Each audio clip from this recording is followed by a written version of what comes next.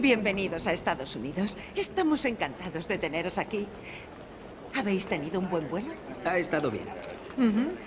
¿Cómo os llamáis? Yo me llamo Mamerden.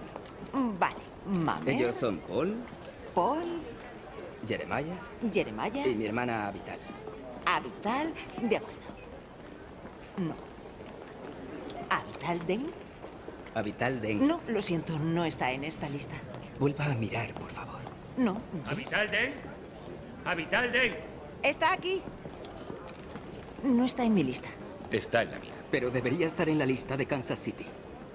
Bueno, no puede ser. Según las normas de inmigración, las mujeres se alojan con familias. Una familia de Boston desea acogerla. Esta es su familia, no pueden apartarla de nosotros. Son las normas.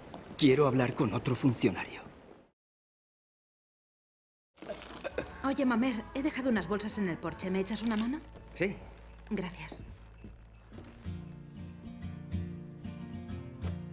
¡Avital! ¡Qué alegría!